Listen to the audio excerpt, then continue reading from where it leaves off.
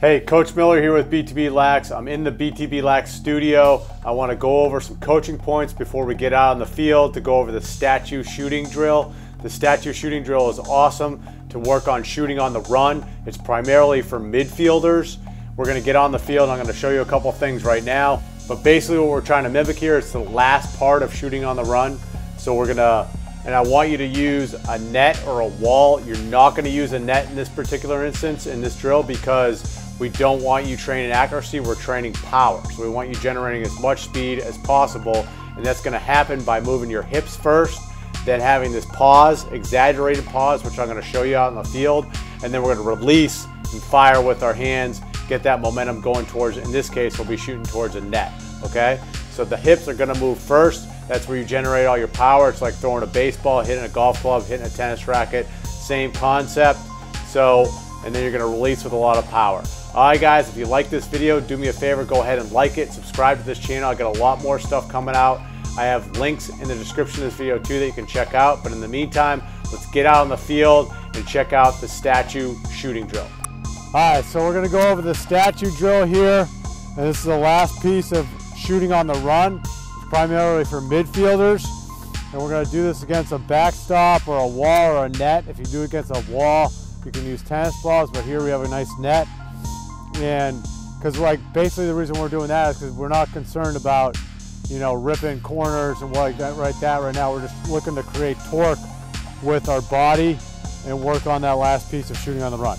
All right so the first thing we're going to do is we're going to have we're going to get in like the last shooting stance so you can see he's got his feet both his toes pointing towards the net his arms extended. You're going to kind of have your stick on an incline so maybe just get it a little bit Yeah, just like that. His shoulders are closed. So his shoulders are completely closed and his hips are closed. And the first step is going to be he's going to step with his right while he's keeping his shoulders closed, like creating that torque. He's going to hold it for two seconds. One, two. Then he's going to fire, just like that. And we're just going to keep on doing that. It's called the statue drill. We're going to do that this drill came from Coach Chemotti at Richmond, and he has his guys do this for 10 minutes at a time.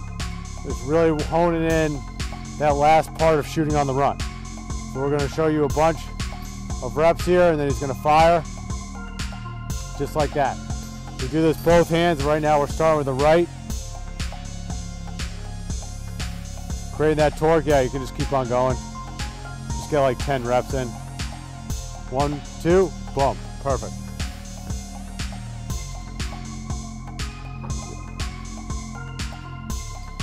Yep. Yep. And then even maybe try to get that right step out in front beyond your left foot. So you're like, you know, mimicking that shooting on the run. Out. There you go. Perfect because that's how we shoot when we're on the run. But right now we're just looking on creating that torque, getting more velocity on our shots. Yep. One, two, boom. Yep. All right, we'll do one more with the right, then we'll switch it over, do the same thing with the left hand.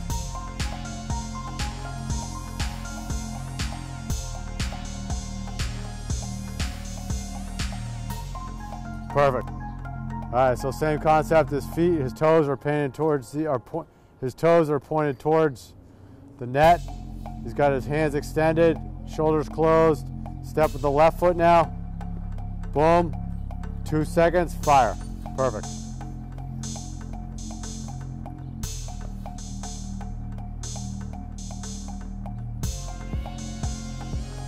Step. Two seconds. Fire. Yep.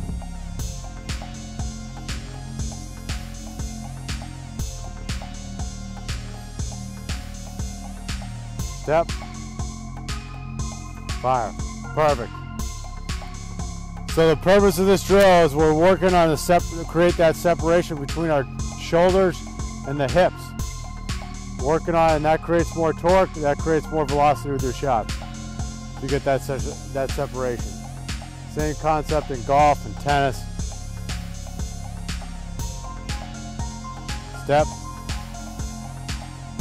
two seconds, When our brain says we want to shoot, we want to make sure that our hips are moving to create that torque. Step, shoot, boom. Yep, one more.